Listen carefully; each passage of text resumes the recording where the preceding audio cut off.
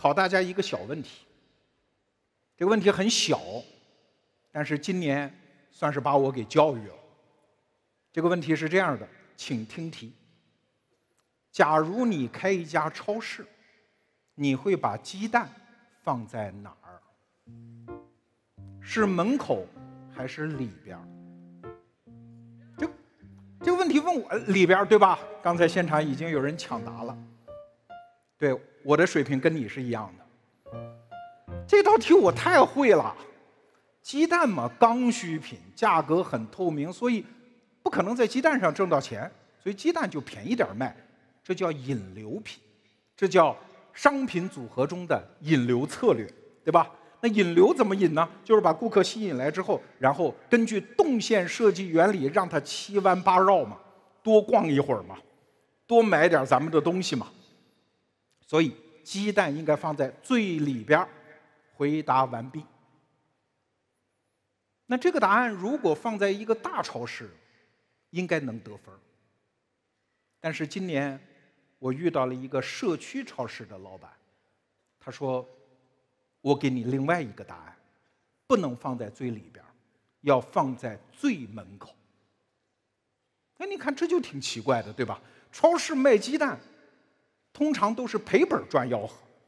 你放在门口，人买了就走了，这不白赔了吗？这个老板是这么说的，说不是啊，我们社区超市做的是邻居生意，不能那么鸡贼呀。我们得当个敞亮人。什么叫敞亮人？就是吃亏吃在明处。你作为我的邻居，你来占我一回便宜，你来占我两回便宜，你占我一个月便宜。你还不买颗白菜吗？你总能形成在我这儿买东西的习惯吧？生意就是这么做的呀。哎，这个答案是不是听着也有点道理？如果不是遇到了这么一位超市创业者，我坐在我自己的书房里，把我的头想破了，我也得不到这样的答案。你看，即使是这么小、这么具体的一个问题，在理论上。我们会有一些标准答案，但是在真干这摊事儿的人那里，你还会得到一堆参考答案。刚才我们说的是答案，但是你去看看别的买卖人，你有的时候你还会得到全新的问题。对，有的问题我们也问不出来的。举个例子，比如说。经营一家奶茶店，你需要解决哪些问题？你对我这样的外行来说，我能够想到的无非就是产品研发、店面选址、怎么引流、怎么搞流量，我能想到的就是这些问题。但是今年，著名的投资人魏哲给了我一个新问题，他说：“对于一家奶茶店来说，有一个大问题。”叫怎么消灭淡季？哎，这个问题对我来说就超纲了。这个淡季不淡季，这不是自然规律吗？这玩意儿还能消除的？他说能啊。你比如说，要消灭一年中的淡季，很多奶茶旺季在夏天，对吧？而且是水果茶比较畅销，水果茶通常能占到百分之六十。但是夏季的水果茶主要是冰的，那到了北方呢？那到了冬天呢？这就是淡季啊，怎么办？调品种啊，比如说五谷杂粮茶，比如说雪糯米奶茶，这些暖乎乎的冬季的热饮。所以一年的淡季是这么被抹平的。但这没完啊！魏哲让我大开脑洞的，他是说一周有一周的淡季，一天还有一天的淡季，也要坚决消灭掉。一天里面也有淡季，这没听说过对吧？他说有啊。你想，奶茶通常是中午之后开始承担第一杯，然后一直卖卖卖，可以卖到晚上。但是上午呢？上午就是淡季呀，店面里面通常是空荡荡的，没有订单啊。那怎么消灭这一天中的淡季呢？让上班族一早就进店呢？你只要想到这个问题，答案就很简单。上一台咖啡机，早上就卖咖啡。那至于你说什么品牌调性啊，我这个品类的坚守啊等等，对于具体干这事儿的老板来说，没那么重要。因为怎么消灭这个淡季这个问题，是只有身在局中的人他能问得出来。各位，你们设身处地的现在想想，如果你是一个奶茶店的老板，你现在就站在你店面的收银机的后面。你现在眼前看见的就是上午店里空荡荡的，你心里会想啥？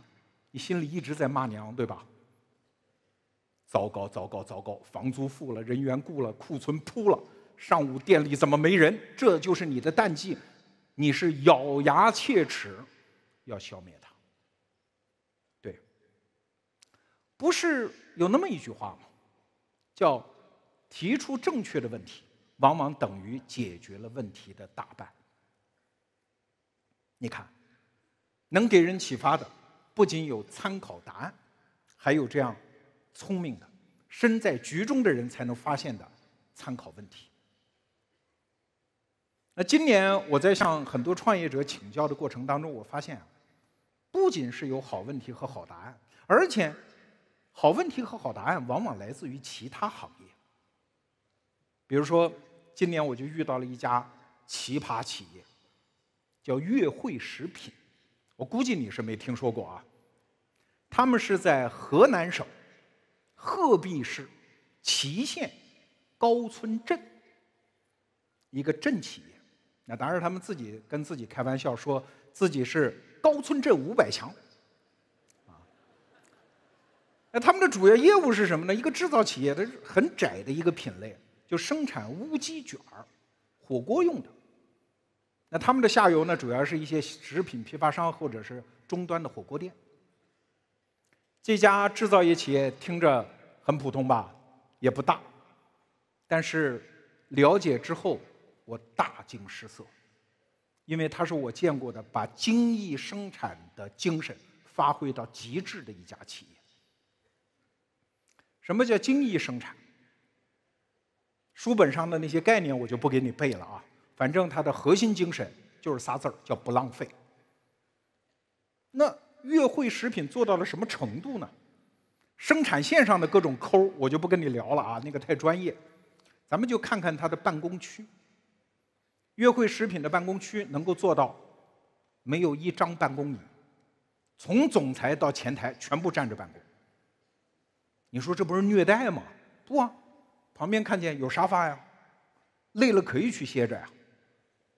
啊，这样一来，所有人的办公效率都提高了。咱上过班的人都知道，你要是站着摸鱼，那也太累了。那还有一项好处，就是你看，所有人都站着办公，工位通通拉通，而且台面架高，没有卫生死角啊，地面就会很干净。所以，个人管个人的卫生。偌大一个厂区，悦汇无鸡卷，偌大一个厂区，居然只有一名保洁阿姨。那不只是生产啊，他们在销售阶段也做到了精益精神的不浪费，一丁点儿都不浪费。你比如说，他们经常有推销员要到客户那儿去推销，啊，我就看到他们的总裁这位啊，叫邓繁华。给他的销售人员上课的时候，就在讲，你上门推销怎么精益化的迭代。过去这种上门推销，那人家老板不买，你能怎么办呢？不成功就只能算了，对吧？但是如果你是一个有精益精神的老板，那怎么能算了呢？这里面是巨大的时间和资源的浪费，这就必须得消除。所以每一个销售动作都有优化的空间。那我们来看看悦汇乌鸡卷是怎么优化的。他们的店面推销员到餐馆里去推销自己的产品。第一条，不能开好车去。你别看这跟你的产品没关系啊，那些开餐馆的老板一看你开了个好车来，心里就开始嘀咕：这好车肯定是花了我的钱。所以不能开好车去。第二条，上门推销食品应该带什么？带上样品就够了吗？不行，你带上样品，别人说好好好，我收下，将来我做着吃啊，好不好？我再给你反馈。你以为你还能等到反馈？所以不仅要带样品，而且锅碗瓢盆都得带上，现场做，现场吃。第三条，请问几点去啊？请注意，不能上午十一二点去。道理很简单吗？你上午十一点到了人家餐馆，人家正在准备午市开餐，人家忙啊，没时间搭理你啊。那你说我躲过午市，我下午三点去行不行？不行。餐馆忙完中午之后，从老板到员工都很累，这个时候要休息一会儿。店里甚至都不可能有人。那几点去啊？准确的答案是下午一点半。那为什么是一点半呢？因为这个时候午市高峰已经结束了，但是店里呢稀稀拉拉还有一些客人，店长呢这个时候心已经松下来了，但是呢他还不能走，就这个时候上门最合适。好了，你上门，你带着锅碗瓢盆，你现做给别人吃，请问做几份呢？长期的优化迭代，这数也有很精确啊，做八份那做好之后给谁吃呢？也是精确的，一份儿给老板，一份儿给总厨，这是店里话语权最大的两个人。那剩下六份给谁呢？给副总吗？给服务员吗？啊不，别忘了我刚才交代的一个细节。这个时候店里稀稀拉拉的还有一些客人，没错，剩下这六份要给店里剩下来的顾客。下面重点来了啊！大家都品尝完了，吧唧嘴，抹完嘴。作为销售员，这个时候你该开口问谁？这就是优化之后的一个动作要点，不能问老板和总厨，而要一个箭步冲上去问顾客。啊，我送您吃的这个，这个这个小炸串儿，您觉得好吃不好吃啊？九块钱两串，你觉得贵吗？咱们都有吃白食的经验，对吧？你好意思说不好吃吗？你肯定说好吃，好吃，不贵，不贵。好了，等这六串，等这六个顾客在嘴里蹦出这几个字儿的时候，你想想看会有什么效果？首先一个，这个吃东西啊，每个人都有口味偏好，你说好吃，我说不好吃，对吧？现在是顾客，而且是六个顾客，六比二。人家说好吃，老板心里他即使觉得不好吃，是不是自己心里也打鼓？是我的偏好问题，不是人家的产品问题。那还有一个效果，就这件事情在老板那里就变了，他已经变成了另外一个事儿了，不是一个供货商要卖我一个新产品，我要不要买的问题，而是我的顾客觉得这个东西好吃而且不贵，我要不要满足我的客人的问题。这个事儿的实质就变了，哇！这种技术在他们那里太多太多。你想，这是一整套经过长期组合迭代出来的组合拳，这能消灭多少客户拜访时间上的浪费啊？我就这么简单的跟你一介绍，你是不是就觉得他们的承担效率能提高不少？是的，但是约会的故事。没有完，我重点要介绍的是下面。约会它毕竟是一个制造业企业，制造业企业它永远会在一种压力下，上游要涨价，下游要压价，同行要降价，永远受这个夹板气。这是制造业企业的宿命。所以约会就开始想，那这个问题怎么解呢？是我要在谈判桌上跟我的客户、跟我的上游拼命的博弈吗？哎，想着想着想通一个问题，就是他们哪是要压价呀？他们不就是想挣钱吗？那这就好办了，咱帮他挣钱不就行了吗？所以，他们就搞出了一套全新的打法，就是把我精益生产的这套神功，我练成之后。我分享给我的上下游企业，他们的总裁邓繁华说了这么一句话：说所有的行业都是知识服务业。你说这不见了鬼吗？我们得到居然搞出了这么个竞争对手。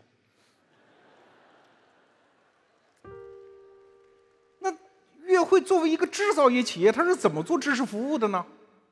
我给你举两个例子，比如说悦汇的销售员到了他们的下游的食品批发商那里，那不是掏出样品呱唧呱唧说我这个东西多好，他往往是带领客户一起打扫打扫冷库。请注意，这可不是学雷锋做好事啊！因为在精益生产的理念中，这是很重要的五 S 当中的两个 S，叫清扫和整理，这是非常好用的降本增效的工具。那比如说，他们在南昌有一个客户，食品批发商，光冷库二十七个，如果遇到旺季还要再租十个。现在好了，约会的销售员去了，袖子一挽，就开始陪他们一起打扫冷库，整理。一趟整理下来，老板发现，耶，好像我并不需要这么多冷库。就这么一趟打扫，全年省了十五万。那你想想，这样的供应商，这样的销售员，在客户那儿，在甲方那儿，能没有地位吗？据说他们有一个销售员叫阿聪，阿聪到了客户那儿，客户。总是会这么说：“说来来来，大家把手头的事情放一放，现在我们听聪总的。”那你想这样的客户他能营销不好？再给你举个例子，比如说有的食品批发商进了货之后往那一堆，在批发市场就那么开卖，啊，那约会的销售员来了之后就说：“哎呀，这不行，这不行啊，这太浪费我们的销售卖场。”来把货堆起来，用尽可能少的货堆出尽可能壮观的那个堆头，然后堆起来之后，再扯过一张 A3 纸，在上面写啊，先写上产品的名字，比如说悦汇乌鸡卷儿然后写上卖点，最后在 A3 纸的四周画一个大红框，把这张 A3 纸往那一戳，你稍微有一点商品的经验，你就知道。这肯定销售额就能提高一个比例。哎，那反过来我们问一个问题：这招难吗？这招高级吗？这招新鲜吗？不新鲜啊！所有做零售的人都知道，这是雕虫小技，无非就是一点马堆技术嘛。但是各位啊，我们今天说好了，我们是要用具体的精神来理解这个世界。道理归道理，但是。就这么个简单的事儿，有的时候没人教你还真就不会，有的时候没人帮你还真就做不到位。我找约会要了一张清单，他们的销售员到了客户那里，通常会帮客户做哪些事情？你看，从打扫卫生到设计动线，甚至是为客户做战略计划，他们都会。我们得到有一门课。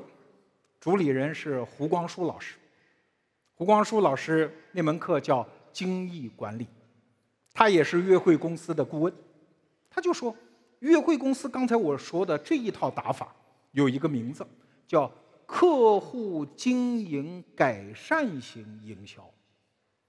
说白了，谁也别小瞧自个儿，谁在这个市场中立足，都带了一些本事、一些知识。如果你能把这些知识分享给你的上下游，你就能帮他们改善经营，帮客户赚到钱，顺便就把自己给营销了。你看，寻找新答案，我们自己心里的老问题的新答案，一定是要到书上找吗？一定是向本行学吗？不是，学到其他行业的基本功。就能形成自己行业的竞争力。各位没想到吧？这是河南一个村儿里的制造企业，也能给我们带来这样的启发。好，刚才我说完约会这个案例，我不知道你心里有没有一点痒痒的啊？就这位邓总，你是不是想当面摁住他，让他给你把精益生产的理念和行动展开讲讲？没问题，安排啊。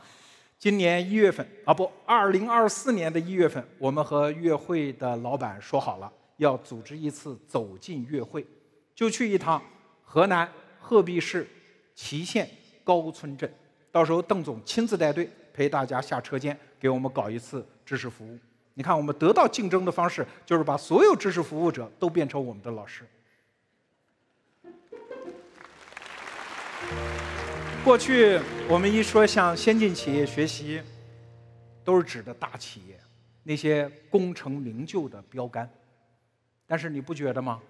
行动时代来了，大企业，它当然很重要，它是我们创业的北极星，但是在具体行动上，他那个药治不了咱的病，有的时候。所以同样重要的，我们要向中小企业的同路人学习。我们是一起搀着手过河的同路人呐。我们此刻面对的问题，有的时候左右一看，他们那里刚刚探索出来的新鲜的答案，我们马上就能往自个儿身上用。这样的事儿，要不要多来一点儿安排？在这儿，请允许我为你发布一个新产品——得到新商学。这是一个到处都是新答案的商学院，这是一个创业者帮创业者的新社区。过去几个月，我和我的同事投入了很大的精力去研发它。要特别感谢前期参加的一千五百名创业者，他们参与了测试，参与了反馈，参与了产品的迭代。今天我把这个产品捧出来，邀请你的加入。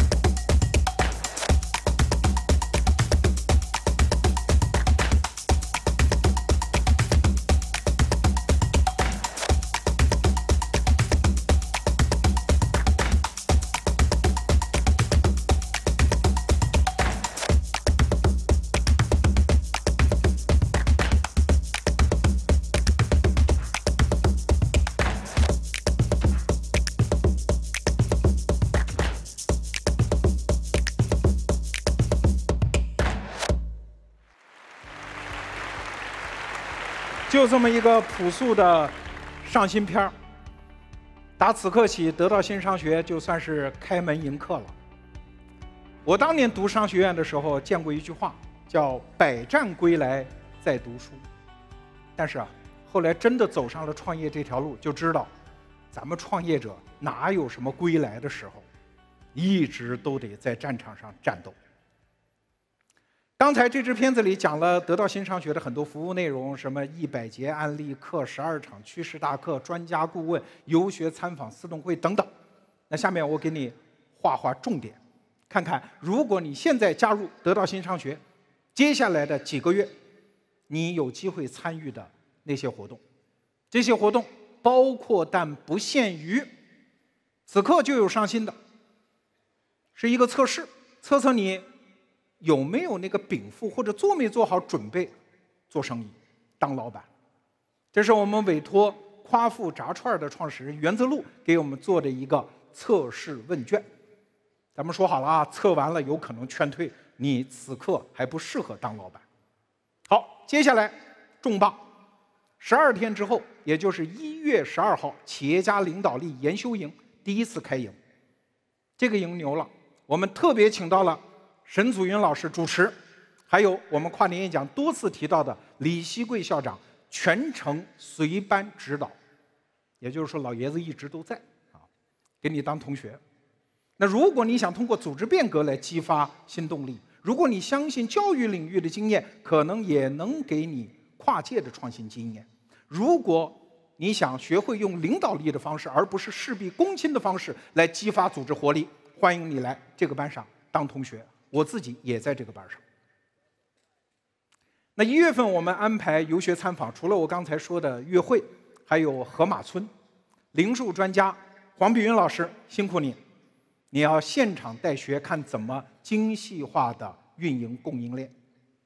一月底还有一门案例课上新，我们为你请到了来芬的创始人叶红新，这个企业可厉害了，哈哈，我会让他亲自跟你讲讲怎么做爆款产品。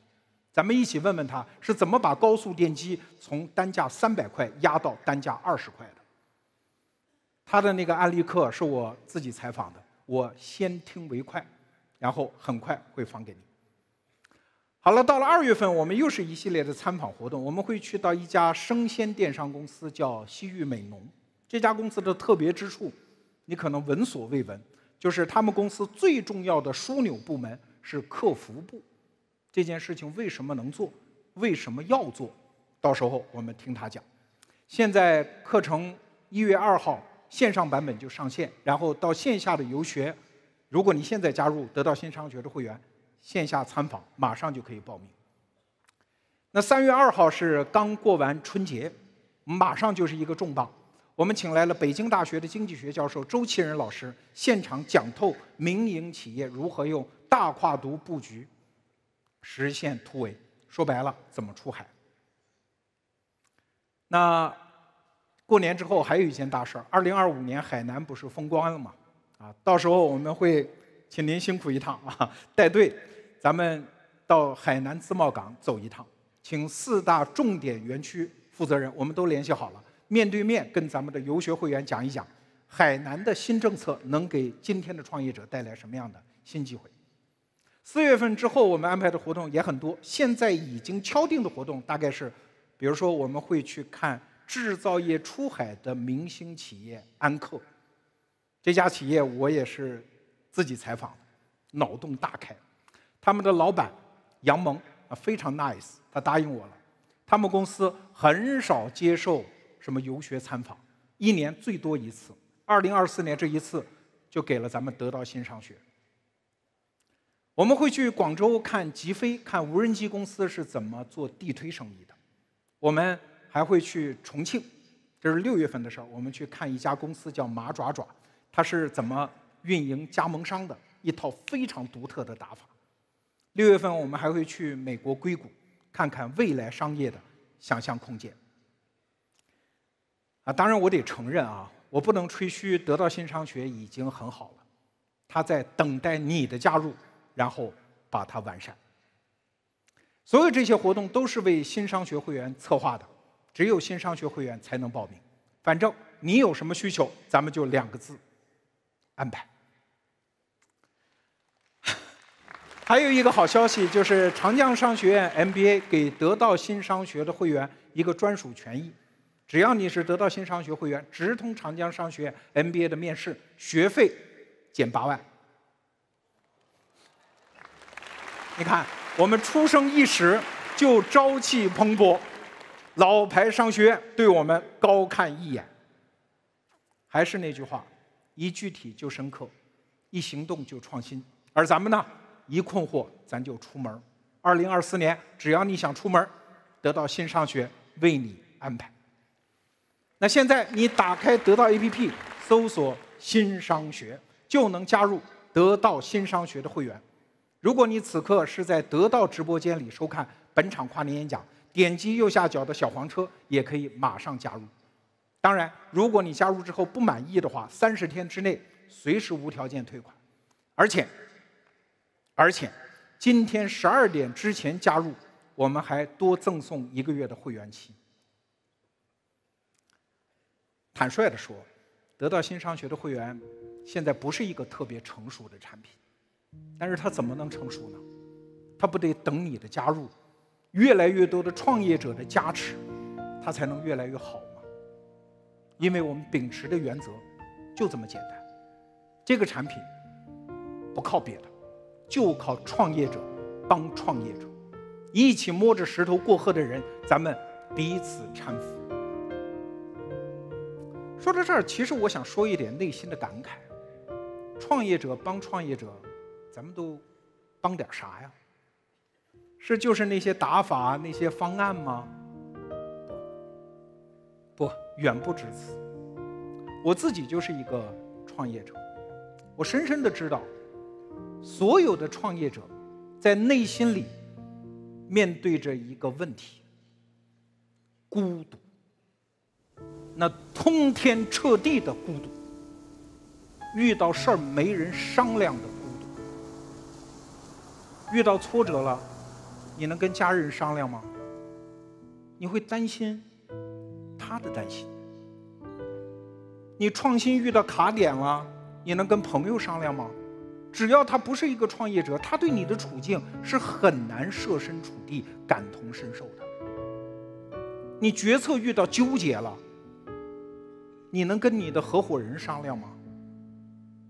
也不行，因为你是老大，你的合伙人还眼巴巴的等着从你身上找到勇气呢。所以每到这个时候，咱怎么办啊？孤独的创业者，咱怎么办呢？刚才有一句话，别忘了，一困惑咱就出门儿，出门去到安克、悦汇、莱芬这样的有特色的企业去考察考察。咱们出门去找林森、邓繁华这样的有经验的创业者去请教请教，去找胡光书老师这样的高人给自己参谋参谋。最好还有人把这样的成功企业的经验都总结好了，咱们带着团队一起学习学习。哎，咱们